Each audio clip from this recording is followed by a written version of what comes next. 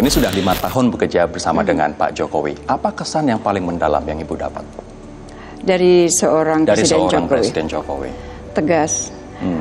eh, accessible dalam artian kapan pun pembantunya dalam hal ini adalah menteri ingin bicara, ingin berkonsultasi, selalu ada waktu, arahannya jelas, dan setelah ada arahan kita lakukan, implementasinya selalu dimonitor. Artinya em, perintah jelas, accessible, itu kira-kira kenapa Pak Jokowi bisa punya karakter itu ke menteri-menterinya? Mungkin karena latar belakang beliau ya, latar, latar belakang beliau kan sebagai em, swasta, yang pastinya teman-teman dari swasta itu lebih bekerja secara efektif, efisien karena ada target yang dikejar kan, karena kalau enggak ya pasti merugikan eh, mereka. Nah itu kemudian diterapkan di dalam eh, sistem dan saya sebagai birokrat tulen saya belajar banyak dari beliau Oke. bahwa semua itu ada target.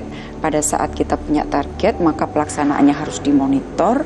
Dengan begitu, ya kalau toh misalnya ada keinginan untuk bukan menipu tapi memberikan uh, excuse yang- gini nggak bisa. Nggak Udah bisa. nggak bisa sama Pak Jokowi Artinya bisa. report yang dibikin berbunga-bunga akan nggak sulit, bisa. akan, sulit karena dicek terus. Oke.